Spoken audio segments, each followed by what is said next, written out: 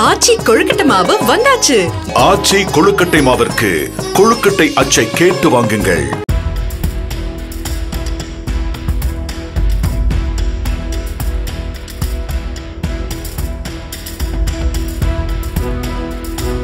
கடலூர் மாவட்டம் பெண்ணாடத்தில் கஞ்சா விற்றதால் கைதாகி ஜாமீனில் விடுவிக்கப்பட்டிருந்த இளைஞர் ஒருவர் மீண்டும் கஞ்சா விற்றபோது கைது செய்யப்பட்டார். சோழநகர் பகுதியில் வீட்டில் வைத்து கஞ்சா விற்கப்படுவதாக போலீசாருக்கு தகவல் கிடைத்ததை அடுத்து பிரவீன் என்ற இளைஞரின் வீட்டில் சோதனை நடத்தி இருபத்தி ஏழு கஞ்சா பாக்கெட்டுகள் மற்றும் இரண்டு பட்டா கத்திகளை பறிமுதல் செய்தனர்.